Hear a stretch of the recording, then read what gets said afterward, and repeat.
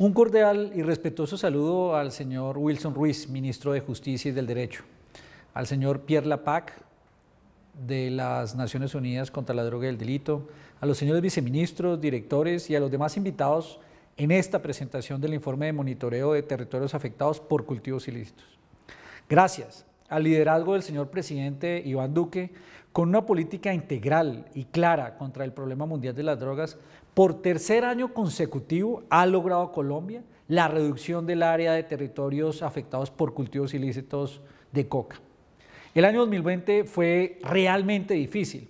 Nos enfrentamos a una pandemia como la del COVID, a condiciones climáticas adversas y a diferentes maniobras de los grupos narcotraficantes y los grupos armados organizados como el ELN, las disidencias de la FARC, el Clan del Golfo, mediante las cuales buscaron limitar el accionar de nuestra fuerza pública. De hecho, se presentaron más de 1.862 bloqueos con acciones violentas en contra de las operaciones de nuestros erradicadores manuales y policías y soldados. 22 ataques a los campamentos de operación de la erradicación manual y se desactivaron más de 148 artefactos explosivos improvisados, ubicados con el fin de atentar contra la vida e integridad de los campesinos erradicadores. Tenemos evidencia de que los grupos armados organizados recurren al uso de minas antipersonal y también a francotiradores. Durante el año 2020, 14 miembros de nuestra fuerza pública y también 12 erradicadores fueron asesinados. A ellos rendimos tributo y un saludo también especial a sus familias. También 85 miembros de la fuerza pública y 22 erradicadores resultaron heridos por estos atentados. A pesar de todos estos ataques, y de los retos que nos trajo a todos los colombianos la coyuntura sanitaria por el COVID, la fuerza pública ha continuado sin tregua fortaleciendo las capacidades para la erradicación manual, haciendo de esta la operación más grande que adelanta nuestra fuerza pública, con más de 18.700 hombres entre uniformados e integrantes de los grupos móviles de erradicación el año pasado, en el 2020. Y es que en ese año se erradicaron 130 mil hectáreas de cultivos ilícitos, lo que representa liberar un área equivalente a más de 120 mil canchas de fútbol o 3.4 veces la ciudad de Medellín, liberándola de los cultivos ilícitos. Las hectáreas erradicadas en ese año generaron un golpe económico fundamental a las finanzas ilegales de estos grupos narcotraficantes, más de 302 millones de dólares y al mismo tiempo se dejaron de producir 115 mil kilogramos de clorhidrato de cocaína gracias a esa erradicación y al trabajo de todos los hombres de nuestra fuerza pública. Justamente ese trabajo nos deja una cifra histórica en incautaciones de coca. Entre el 1 de enero y el 31 de diciembre se incautaron más de 505 toneladas de clorhidrato de cocaína, 18% más que en el año 2009. 2019, por un valor estimado de 16.674 millones de dólares en el mercado de Estados Unidos y por supuesto la reducción de más de 1.264 millones de dosis disponibles en el mercado. De esa forma se salvaron vidas de jóvenes en los mercados nacionales e internacionales que hubieran podido verse afectados por, esta, por este consumo.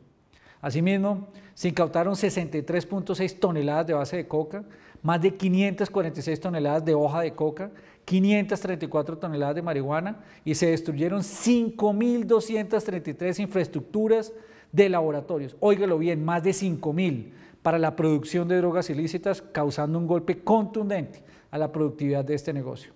Este esfuerzo, hecho como evidencia este informe, resulta en una reducción del 7% en el total de áreas de cultivos ilícitos en Colombia.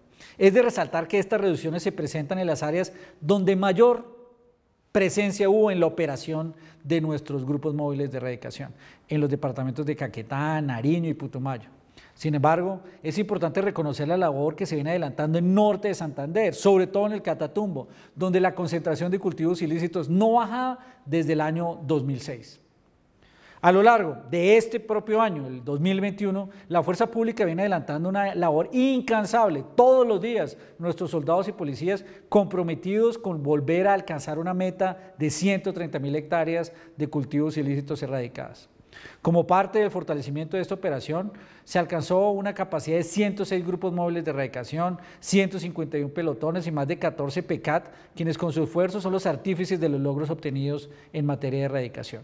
Al 22 de julio, la Fuerza Pública ha erradicado 38 mil hectáreas de cultivos ilícitos, se han incautado más de 346 toneladas de clorhidrato de cocaína, 30% más que el año pasado, lo mismo que 62% más de toneladas de hoja de coca, 541 toneladas el año pasado con respecto al año pasado. Más de 8 millones de galones de insumos sólidos, más de 47 mil toneladas de estos insumos sólidos y se han destruido más de 3.683 infraestructuras para la producción de drogas ilícitas. Eso es un incremento de casi el 14% más con respecto al año pasado. La disminución de las capacidades de la fuerza pública en especial la suspensión de las labores de aspersión aérea y la reducción de los grupos móviles de erradicación, hizo que desde el 2015 se incrementaran de forma exponencial la producción y el total de áreas de cultivos ilícitos. Sin embargo, con la política del presidente Duque, desde su primer año de gobierno, primero se estabilizaron los cultivos para que no crecieran y llevamos dos años mostrando reducciones eh, seguidas como el año pasado acumulando casi 7% de reducción en el total de hectáreas, llegando a 143 mil hectáreas de coca. Un triunfo de la política antidrogas y de lucha contra cultivos ilícitos del gobierno del presidente Duque. Seguiremos sin tregua este año combatiendo toda la cadena del narcotráfico, especialmente poniéndonos una meta de no solo la erradicación, sino lograr la reducción de área. Esa es la pregunta fundamental. Y no solo atender la incautación, sino disminuir la productividad de la coca. Esa es la gran apuesta para lograr disminuir la fuente fundamental que genera violencia. Es el narcotráfico el que genera violencia en Colombia. Es el narcotráfico, los cultivos ilícitos y su producción y uso ilícito que generan muerte a los líderes sociales, que generan homicidios colectivos, que hacen destrucción del medio ambiente a través de la contaminación de las fuentes de agua y la destrucción de zonas inmensas de bosques en nuestra Amazonía y en nuestra Orinoquía.